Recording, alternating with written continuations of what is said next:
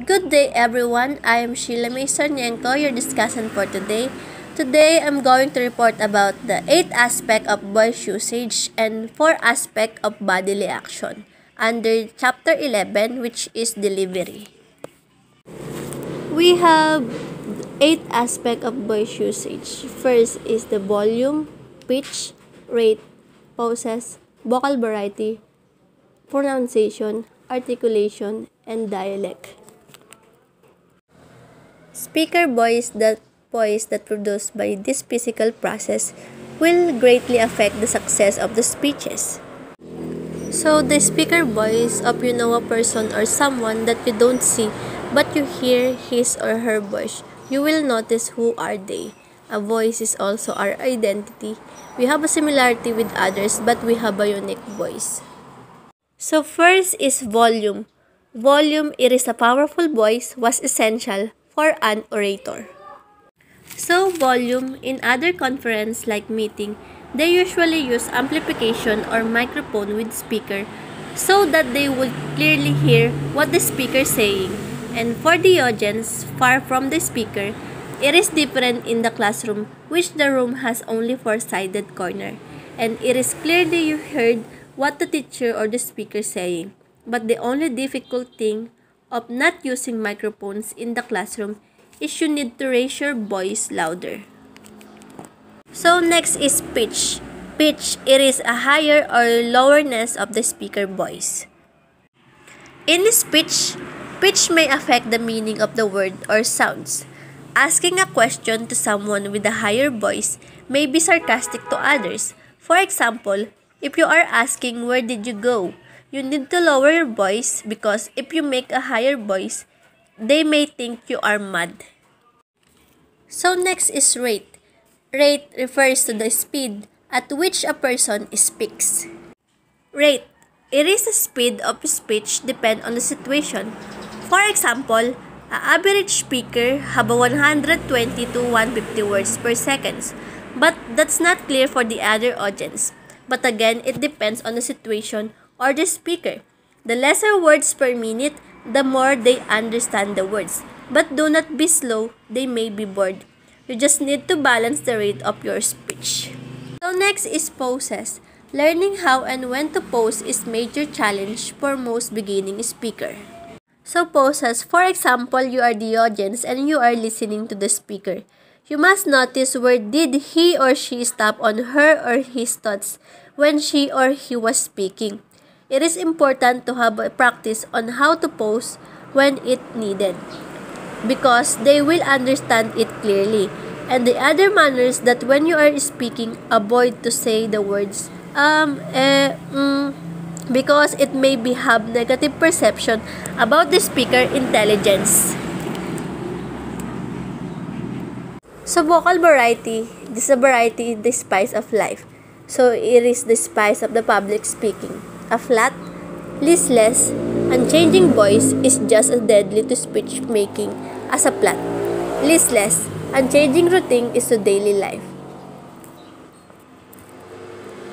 So vocal variety, by learning how to properly doing vocal variety, you must need to feel them what you are saying by tone, pitch, and volume of your speech. When you are practicing vocal variety, you need to change your pitch, volume, and pace and if you want to enhance your vocal charisma, you need to listen to the other great speaker and imitate them. Next is pronunciation. Most people recognize and understand many more words in reading rather than they use in ordinary writing and about three times as many as occur in spontaneous speech. So pronunciation we have a different pronunciation depends on the place. The commonly language that we use is English. Pronunciation of English or American are different from the English UK.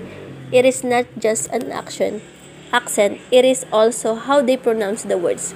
For example, the word February is commonly pronounced it as February, but the proper pronunciation is February.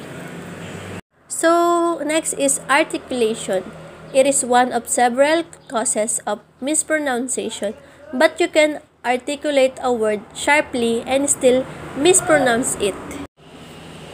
In articulation, it is like in pronunciation, which includes how to properly pronounce the words. Example, the misarticulation of word will you pronounced as will ya.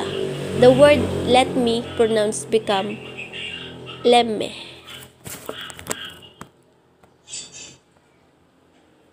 And last, the dialect. Most language have dialect, each with the distinctive accent, grammar, and vocabulary. We have the four aspect of body action. First is personal appearance, movement, gesture, and eye-to-eye contact. So next is personal appearance. A number of studies have confirmed that personal appearance plays an important role in speech making. So, when it comes in personal appearance, of course, being a professional, you want to look as a presentable to the audience, which their eyes on you. Imagine if you are wearing shorts or t-shirt while having your speech, it may cause a negative comments or they will not listen to you. Just have a good clean look and proper attire make a plus for the audience to listen to the speaker. So movement as important as how you act during the speech is what you do just before you begin and after you finish. So, movement. Improper movements make irritable to the audience eyes. We all know that being a speaker is not easy. Sometimes you forget what you are doing while you are standing in front because of fear and nervous. For example, hands are in the pocket, movement of feet shaking hands. All you need to do before you start speak, try to calm yourself, be comfortable, and be confident. So next is gesture. It tends to work itself out as you acquire experience and confidence. So gesture, like in movement, gesture is also need to learn while speaking in front of audience. Many of speakers do an improper movement and forget his or her gesture. Try not to play with your hands or the other movements that may distract you. Just focus on what you are saying or talk. Do not distract yourself. And last, eye-to-eye contact. By manipulating the eyeball and the areas of the face around it, we convey an intricate array of nonverbal message. Eye-to-eye -eye contact. The most important thing when you are speaking in front is the eye-to-eye -eye contact with your audience. Eye-to-eye -eye contact means you are delivering a message to your audience while you are speaking is a communication between you and the audience. Avoid looking up or down. Just try to have communication from eye to eye and they will catch you.